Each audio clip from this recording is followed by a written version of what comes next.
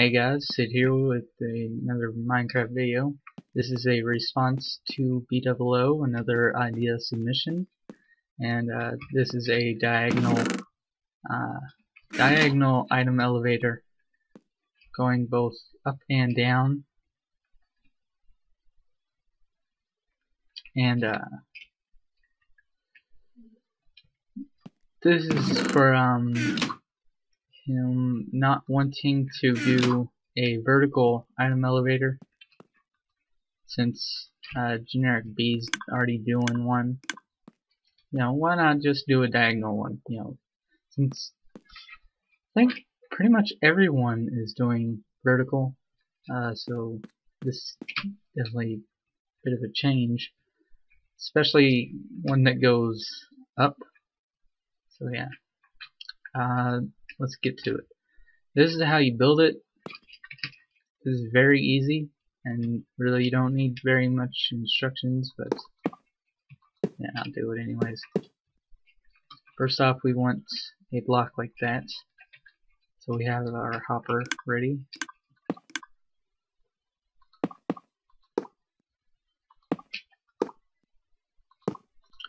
And then kind of want to just do this pattern. And uh, this design is tileable but that's the main reason why it works. Place your dropper comparator and then uh, redstone and a repeater. And then we need a hopper facing this way. And that's it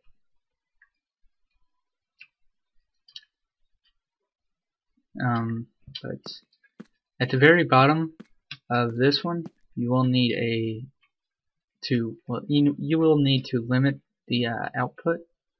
So let's just put a hopper here, a block here, here, and here, and then redstone and a repeater, and that will limit everything that goes into it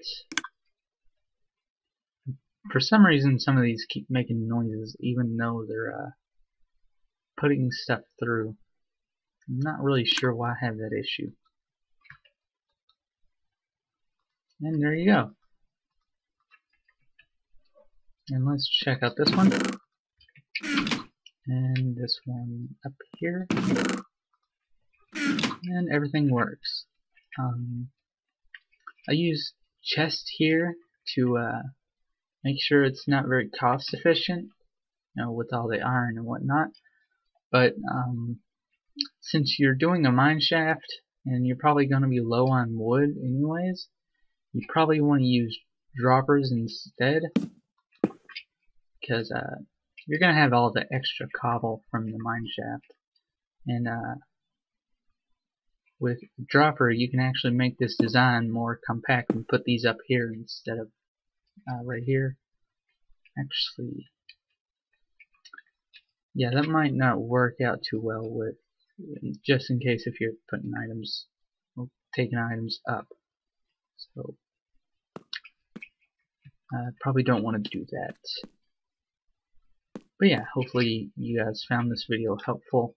Um, and I do hope that the creative series that BOO made uh, comes back because I get a lot of ideas from BOO and you know I like to give feedback and without that I kind of feel like uh, it's taken away from the BOO experience.